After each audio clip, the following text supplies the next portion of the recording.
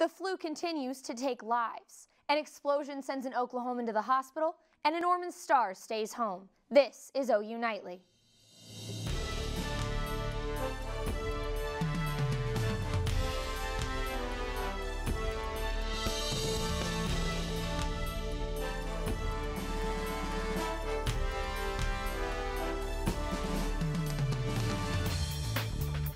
It's no secret that a budget shortfall is a pressing issue at the state capitol. And now state health, health officials say the state health lab could be in jeopardy. As our Nate Fain reports, without more revenue, the state's health lab could be in trouble. Oklahoma will continue to struggle if we don't fix our structural deficits in our budget. It was one of the hottest topics of Congress's first week. The state has a $900 million budget shortfall, and legislators on both sides of the aisle are looking for ways to create more revenue. Representative Jason Dunnington, a Democrat, has written a tax reform bill. We can't have high quality schools and we don't have um, quality infrastructure or health care or public safety without appropriately funding these things and we haven't been appropriately funding these things. The bill would raise income taxes on the state's wealthiest people by 1%, end the capital gains tax exemption, and close a loophole that allows corporations to pay taxes in other states. And Dunnington says it would create 500 million in government revenue.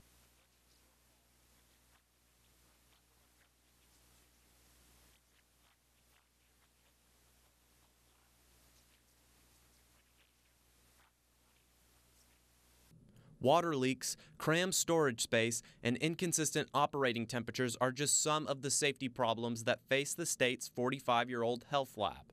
Kristy Bradley, the state's epidemiologist, says if the lab doesn't receive a $50 million bond over 20 years, it will be shut down. So every state tries to have an accredited public health laboratory.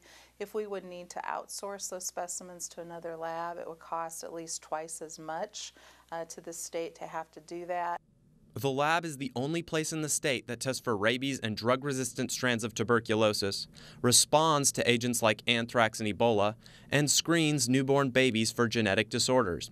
While the governor has listed the lab as a top priority, they include a new Department of Health lab so we don't lose our national accreditation. And the bond has been approved by the Senate Appropriations Committee, it will be up to a state legislator that's strapped for cash to get the health department the money it has been requesting for almost a decade. Nate Fain, OU Nightly. Senator Kim David is the author of Senate Bill 236, which is moving through committees. If it passes, a $59 million bond will be issued for the construction of a new facility. And while the flu continues to take its toll on Oklahoma, the Oklahoma State Department of Health reports that since the season began in September, the flu has killed 28 Oklahomans. The report also revealed that more than 1,100 people have been hospitalized during the current season. OU physicians are reminding there is no need to panic. They say the best way to prevent the flu is to get vaccinated and to wash your hands. Another dubious distinction for the Sooner State. Oklahoma is number one in the number of children abused or neglect neglected by foster parents. The 2015 figures show 150 confirmed cases of abuse in Oklahoma. For comparison, that's 121 more cases than Texas, which has a population of 26 million people. An Oklahoma Human Services spokesperson says the number is just too high. Out of state monitors are helping, but the agency says there is still room for improvement. And tomorrow morning might sound a bit different around Norman Railroad crossings. That's because Norman will now be considered a quiet zone. That means trains will not sound their horns in town unless it's an emergency. The project has been in the works since 2015. Since then, the city has installed median barriers and warning signs to maintain safety. The project was developed during a time when Norman experienced several train-related deaths. A 15-year-old is in jail after being connected to the shooting of an adult male on the 300 block of North Cockrell Avenue. An initial investigation revealed that 15-year-old pulled out a gun and shot the man after being involved in an altercation. The victim has not been identified at this time, while the 15-year-old suspect is jailed on complaint of first-degree murder. And at least one person has been taken to the hospital after an explosion at an oil field in eastern Oklahoma. The explosion was the result of a head that blew off a gas well near Quinton, Oklahoma, about 100 miles southeast of Tulsa. Patrol was called in around 1230 this afternoon and the state route that was closed after the explosion is now open. Jaycie Very nice day, much needed. Way it's been way too cold, way too rainy the The drizzle days. was very uh, glad, very glad it's gone. Yeah, for real. Jordan, can you tell us if it's going to stick around? Yeah, so the warmth is here to stay. At least for the weekend. All right, so right now it is clear and there's not hardly a single sky in the cloud, eh, single cloud in the sky in Oklahoma right now. Temperatures are warm, sitting inside the upper 60s, even sitting in the 70s in northwest Oklahoma. Coming up, we're talking about the warming can continue, and then our next chance for rain coming this weekend. But winter is not done just yet. What does that mean? Coming up, back to you guys. Thanks, Jordan. Senators will vote tomorrow to decide if Oklahoma Attorney General Scott Pruitt will lead the Environmental Protection Agency. After several days of debate over the controversial nominee, the U.S. Senate has decided to stop talking and take a vote. Despite at least one Republican defector and opposition letters from 800 EPA employees, it appears Pruitt will be confirmed. Now, President Donald Trump held a news conference today to announce his new nominee for Labor Secretary. But as Kyle Payne shows us in the News Center, it turned into a whole lot more. Earlier today, President Trump summoned the media to announce his pick for Labor Secretary Alexander Acosta. If confirmed, Acosta will be the first Hispanic member of the president's cabinet. Trump's first choice, fast food exec Andrew Puzder, withdrew his bid yesterday.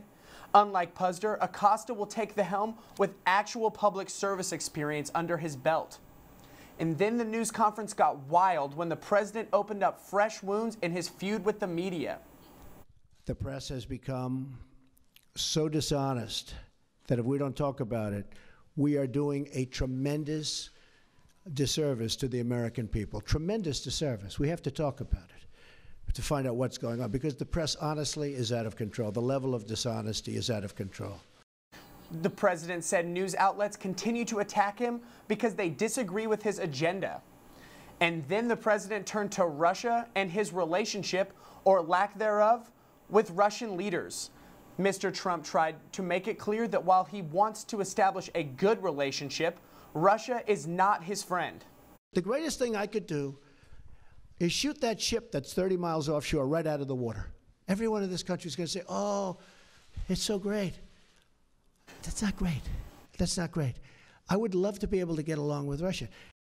Trump also said that Russia is fake news and that any report of him or his aides being in contact with Russia is a lie. And Collin, despite all the chaos during his first month in office, Trump stated that his administration is running like a fine tuned machine. Well, thank you, Kyle. Holden Krusemark joins us now, and Holden, OU basketball received some of its biggest news since Blake Griffin announced that he was signing. What can you tell us? All right, well, Collin, Kentucky, Kansas, and Oklahoma State.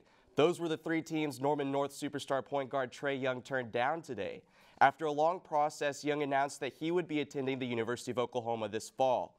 Per NCAA rules, OU is not allowed to talk about Trae's signing until April, but thankfully, we're not the athletics department, so I get to tell you about it. As far as Young's decision, he couldn't think about playing anywhere else than what, is, what he calls home Norman. This is just home. This has always been home to me. Um, I've built relationships with a lot of coaches throughout the years. Uh, this recruiting process has been very long and very tough. Uh, like I said, I've built a lot of trust with all these coaches, and um, uh, this has just been home. This has been home. A really big day for OU basketball, Absolutely. and we'll have more coming about that in the D block. That's the kind of signing that turns your program around. I'm sure Lon Kruger is very excited. Thanks, Holden. I was like, I'm very excited. yeah, me too. Aren't? well, still to come on OU Nightly. Using your cell phone in your car could cost you. And Oklahoma teachers finally received some good news. Stay with us.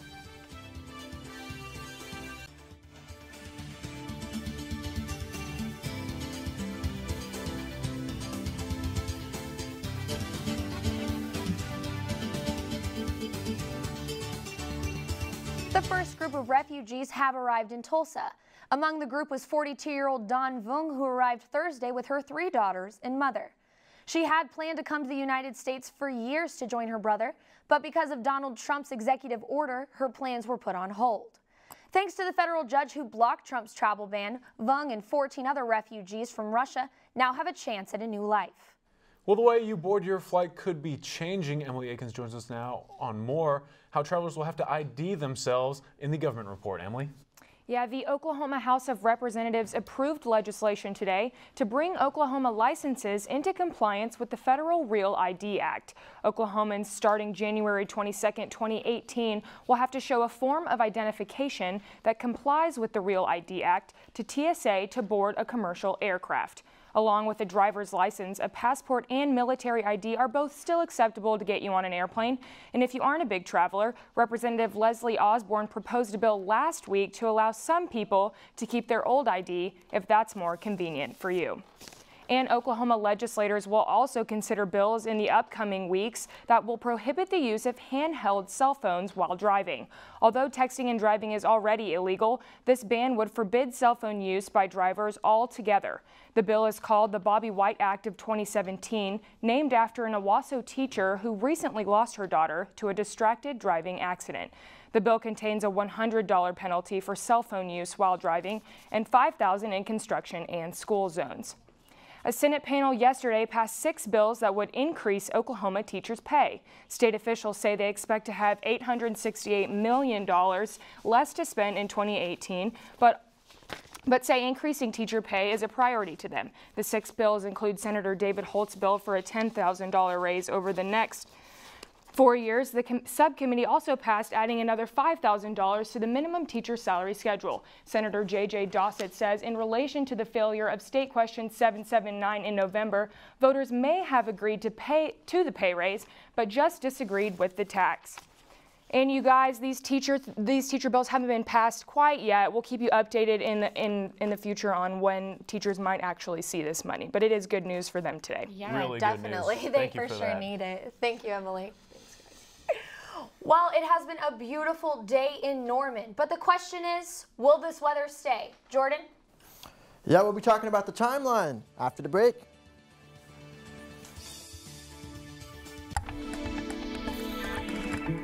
Welcome back to United. I'm Jordan Overton with Look at Your Weather. So here we've got some incredible video all the way from Maine. This is near the Portland area, and you can see lots of snow. I mean, that's at least feet, at least a foot of snow. In fact, some locations in that area did see at least three feet of snow over there. And then other locations, especially Southwest Maine, also saw 16 inches of snow. And they've been seeing snow, they saw last weekend, they saw it the weekend before. Snow everywhere, and it's really starting to pile up. And there is from this morning. So there's the snow from this morning. This is satellite radar for the past 12 hours. But the good news is that it's moved off. So there you can see it's kind of moved off. It was snowing this morning, but most of it's kind of moving off, and hopefully I'll kind of get a break. But there's that system moving off. Now, what we're keeping an eye on is a system way over here off the coast. And that's going to be coming in our direction for the weekend, which will bring us some rain. But for right now, high pressure is in control, and we have clear skies. Not a single sky, a single cloud in the sky right now. But let's take a look at the temperatures across the entire area. And of course, it is very warm, 64 degrees in Norman, 72 degrees in Wichita. But what's interesting is we go up to the north, 69 degrees in Rapid City right now. Their normal high for today is 39. So they are 30 degrees above normal for this time of year. So it is very warm all across the central U.S., but that's coming to a change as we head in towards the weekend and early next week. So we've got a chance for rain coming in.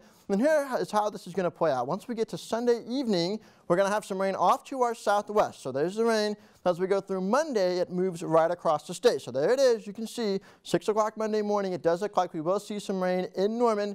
Comes across the state. Unfortunately, it's a quick hitter. It moves very, very fast, and so we won't see a lot of rain, but it is going to be a little bit of rain. So definitely going to be a lot as we head into for Monday. Now, for the two-day forecast, a few clouds for Friday and warm. As we get into Saturday, we do see some more clouds because the system starts to get closer.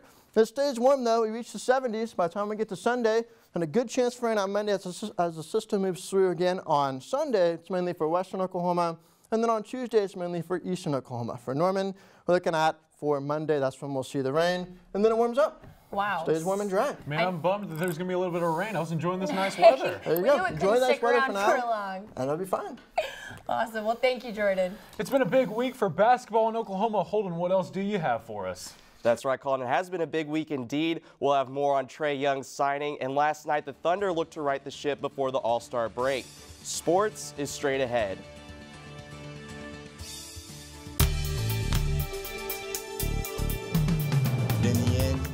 Came to a place of peace and everything came together for me. And that place of peace for me in the fall of 2017 will be at the University of Oklahoma. As we talked about earlier today, it was a big day for Oklahoma basketball. You just watched Trae Young's announcement from earlier where he chose to attend OU in the fall. Young is OU's biggest recruit since the Sooners grabbed the Oklahoma City product that was Blake Griffin. With Jordan Woodard graduating, Young figures to slot in as OU's starting point guard next season. Playing along with young guns Cam McGusty and Kristian Doolittle, the Sooners are now early favorites to compete for a Big 12 title next season. The playing style really fit fit well, um, and with them being young, I feel like I can come in and with them being with a year or two experience in the Big 12, will um, be able to help me just as much as I'll be able to help them. So it was really a, a perfect fit.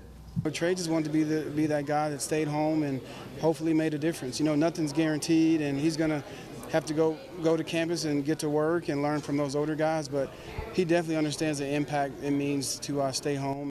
And playing in Norman has served Trae well. The number 15 overall recruit and second ranked point guard by ESPN has averaged over 44 points, six boards, and seven assists a game so far for Norman North. And once again, this is the highest profiled recruit of Lon Kruger's six year career at OU. OU softball heads to Houston to take part in the Rawlings Classic. Fourth ranked Sooners play Incarnate Word tomorrow at 9 a.m., followed by Ole Miss at 2 in the afternoon. And unexpectedly, Sooner baseball opens up this weekend in Norman against Long Beach State. Teams agreed to move the series to Norman with expected heavy rains in Long Beach. And a big weekend looms for the Oklahoma men's tennis team. The 14th ranked Sooners head to Charlottesville, Virginia for the Indoor Tennis National Championships. OU boasts two top 30 players, Andrew Harris and Spencer Papa, along with those two making the 42nd doubles team. The Sooners will take on number three Ohio State tomorrow at 8 a.m. Central Time. Coming off a blowout loss against the Wizards, the Thunder were back at home taking on the New York Knicks. Carmelo Anthony took over early, making his first seven shots, knocking down a couple threes. But per usual, Russell Westbrook stole the show.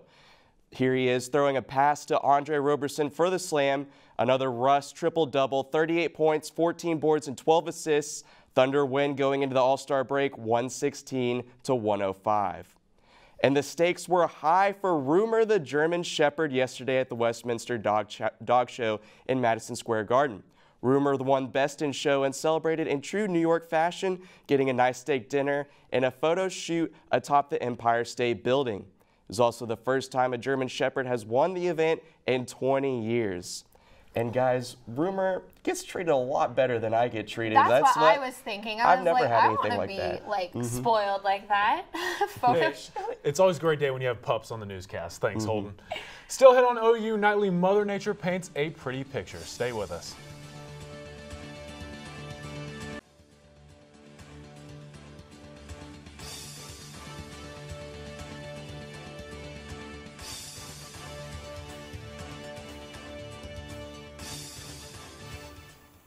I'm Sydney Forsee at the OU Nightly Update Desk with the latest on Todd Lamb. The state lieutenant governor announced he is resigning as the small business advocate in Governor Mary Fallin's cabinet. Lamb disagreed with Fallin's proposed tax on the service industry, which he claims would devastate small businesses. Also, OU announced today that they have broken a new personal record. The freshman retention rate is almost 97%, an all-time high for the university. That's it for now. Back to you guys in the studio. Thank you, Sydney. And finally tonight, a visual treat from out west. Once a year when the conditions are just right, Mother Nature puts on a light show at Yosemite National Park. Called the Firefall, spectators gather to watch as the setting sun hits Horsetails Fall at just the right angle, illuminating it into a golden glow for about 10 minutes. Now, a lot of things have to be just right in order for this to happen, such as the water temperature and a clear sky.